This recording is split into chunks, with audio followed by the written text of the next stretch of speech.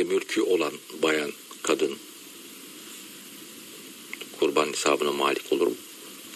Evi olan kesiyordu ya hani. Evet. Devre mülkü varsa ev sayılır mı?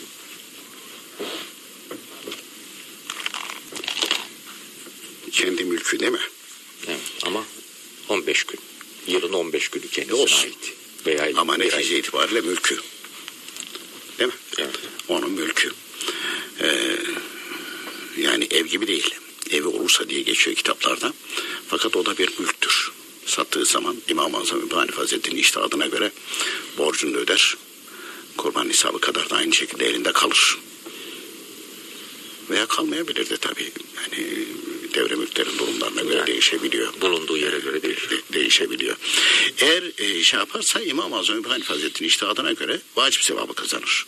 Kesemezse İmam-ı Muhammed Şeybani Hazretleri iştihadına göre günahtan kurtulur.